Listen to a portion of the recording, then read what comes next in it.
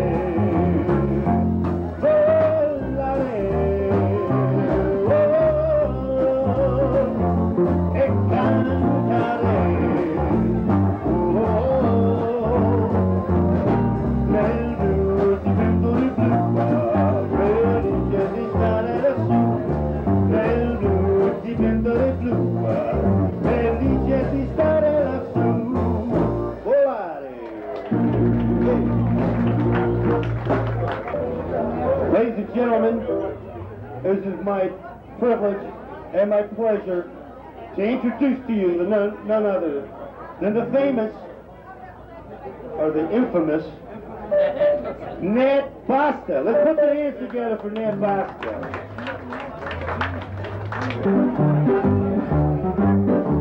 Now we're gonna do a famous little song that we all know here. and We're going do it in four different languages so everybody can understand. This is a Netflix.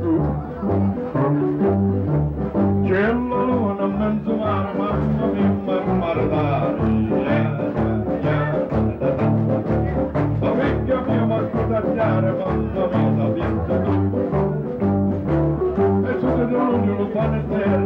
Giovanni,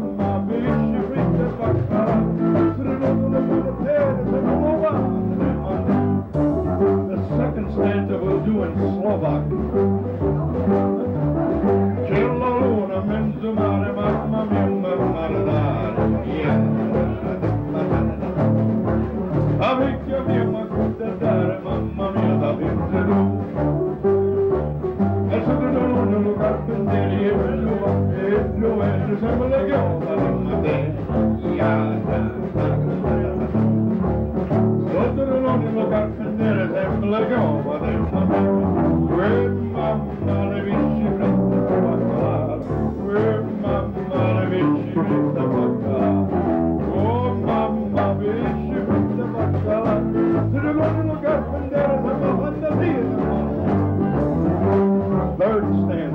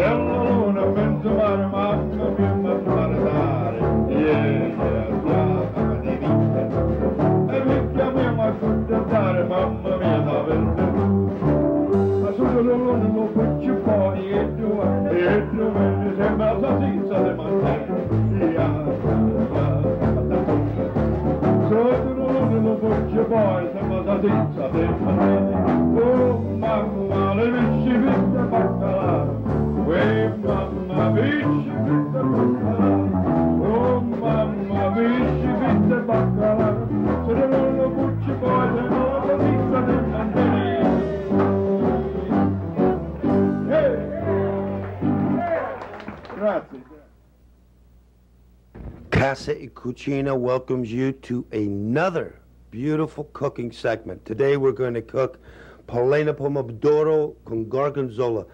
Shark with tomatoes and gorgonzola. It is a beautiful dish. A couple of weeks ago, I, I made these for dinner, and I'm telling you what I said. I've got to put this on the show. These beautiful shark sticks came from Di Gregorio Imports. As a matter of fact, all of these ingredients, ingredients with exception of the tomatoes, came from Di Gregorio's. Now the tomatoes that came from different people around the neighborhood. Frank, Frank down the alley. You saw uh, Frank uh, Gambaro on the show a couple of weeks ago. He's a beautiful, beautiful man. Worked across the alley.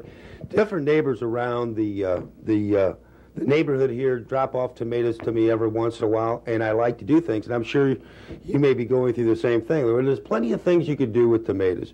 This is just one of the many things, and, and this shark is just one of the one of the uh, the uh, things that you can use with with this sauce here. It is a beautiful, beautiful sauce.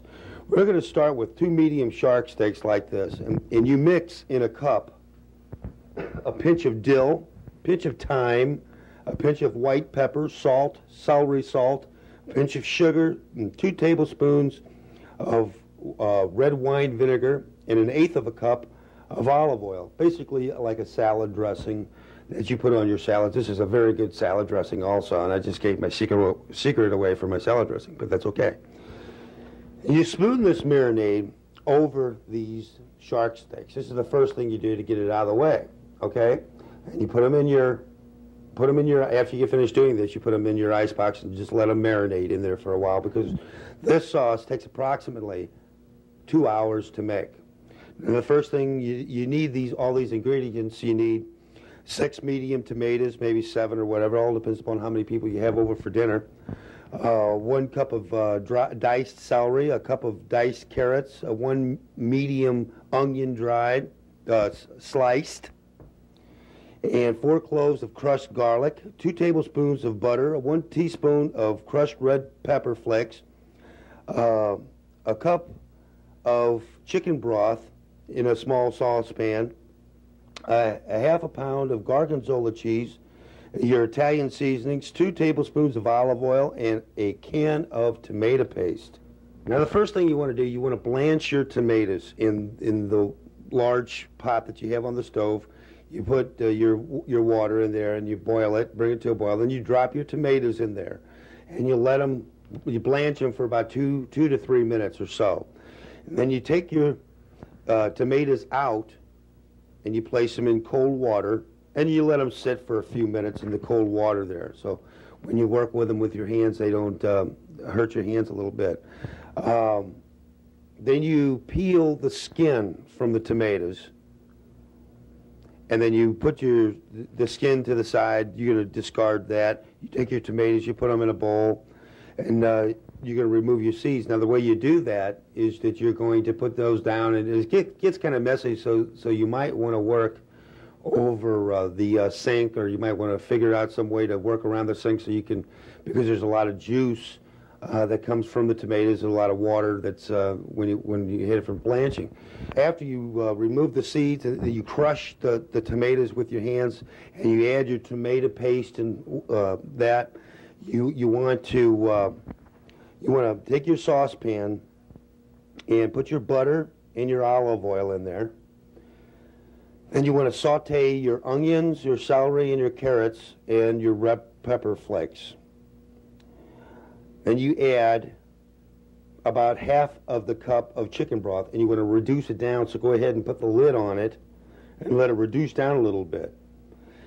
Then you take the lid off, and then you add the rest. Then you add your garlic. You want to add your garlic then. Um, then you add your crushed tomatoes that has your uh, tomato paste in there and your Italian seasonings. Now, be happy with the Italian seasonings. The Italian seasonings uh, consist of uh, thyme, a little bit of oregano, basil, um, uh, spices of that nature. And you want to be happy with it. Just go ahead and do it uh, to your taste. Uh, put whatever you think you would like in there. Now you simmer this for about two hours and you stir it occasionally. Just keep your eye on it and every once in a while stir it up. Now, after you can, uh, for two hours, you can either clean the house, you can have a nice conversation with your family, you can uh, watch a little TV or whatever, but every once in a while, this takes pretty much of the afternoon to do, but, but once, when you do it, and you do it for some, some your family or your loved ones or whatever, is going to be such a treat. And when I show you the final, what it, what it looks like after you've done all this work, I guarantee guarantee it's going to be a, a great, great treat. Okay, about now the shark steaks don't take very long at all. They, you to pull them out of the ice box and you're they're ready for the grill. You're gonna you're gonna go ahead and put them on the grill. Uh, they, don't take very long. Now, when you first put them on, there's going to be a flame. A flame's going to shoot up, and that's okay because you're going to. What I want you to do is I want you to sear in the flavors of the shark. Don't want you to burn them. Just sear them in. If you have to, put the the lid back on the barbecue pit so they can smoke just a little bit. And when you pull that, the flame will go out because the, the it won't have any oxygen to keep it going. So what you want to do is take the lid off, and then you turn them over, turn them over very carefully because shark steak is not like regular steak. It can break up on you, so just be very careful with it. Treat it like a baby. And then you turn it over and you grill it on the other side. Now you want to grill it for about approximately uh, well, what I do is I grill it about uh, two minutes on each side so the fire can sear them in. And then that's four minutes, and I, I cook them for approximately 10 minutes, so at least about six minutes. So you want to uh, turn it back over, grill it for three minutes with the lid on, uh, then turn it over, grill it for the rest of the time and pull over. They do not take that long at all. Now, when you take the shark steaks off of the grill, everything should be about ready. Okay? Because you would have done your work. But there's a few more steps. What you want to do is you want to take your tomato, your your the uh, your saucepan, put a strainer over another pot like this, and you put you just dump it right into the, the strainer there and let all the juices that that flavorful of the carrot, of the celery, of the onion, of the garlic, uh, and the, of the tomato drip down into the pan. And, and then you're going to save your tomato mixture. Just put it over there on top of the saucepan for the time being. And you're going to take half of your gorgonzola, uh, your half of, the, which is a quarter, an eighth of a pound of the, wait a minute, this is a half a pound of gorgonzola, so you want to use a quarter of a pound of gorgonzola. You want to crumple it up in the sauce and just let it dissolve in it. Now that, you got to stir it around real good. Then you take your two plates and you stir, you spoon your sauce onto the plate and just let it, it just take the plate and turn it around so it covers the, the plate real nice. Then you take your uh, tomato mixture and spoon it over on the side, like so. And then you take your shark steak and put it right over on top. And then you can spoon in a nice design uh, the, the rest of the mixture onto your shark steak. Believe me, folks, this is a fantastic recipe.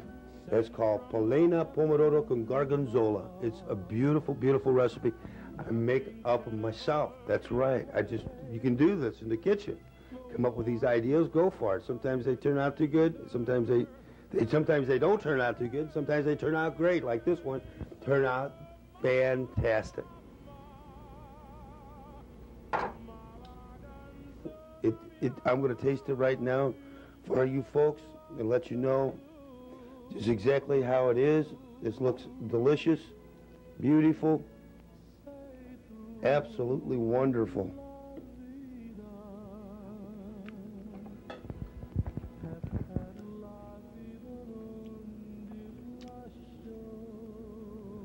It's good. It is really good. Listen, if you'd like the recipe for this, $2. P.O. Box 160104. That's if you don't get all the recipe. That's it shows on four times, Sundays at 2.30 and Monday nights at 8.30. If you don't get the recipe for this, please send $2 to P.O. Box 160104, St. Louis, Missouri, Missouri 63116. This is absolutely delicious. The shark came from Di Gregorio's. All the, all the ingredients you saw here, with the exception of the tomatoes and the peppermint. And you saw me put the peppermint in there. That's just a little touch to add a little color to the dish. But it, it is so delicious, so terrific. I can't describe to you the, the taste. It's, it's just unbelievable. The, the tomatoes came from my neighbors, from my uh, tomato bush out there in the yard, plus my neighbor's tomatoes.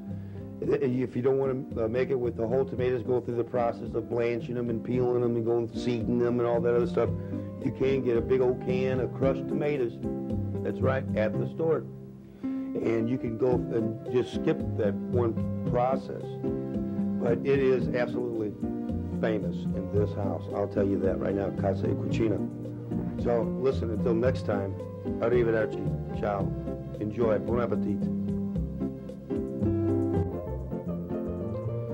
Come si dice in inglese, grazie a tutti. Grazie, il Signore te benedici. How do you say in English? Thank you to everyone. Thank you and God bless. That's the way. Thank you very much. Listen, everyone, tutti, I hope you enjoyed the show. Casa e Cucina on every week. Great Italian American show.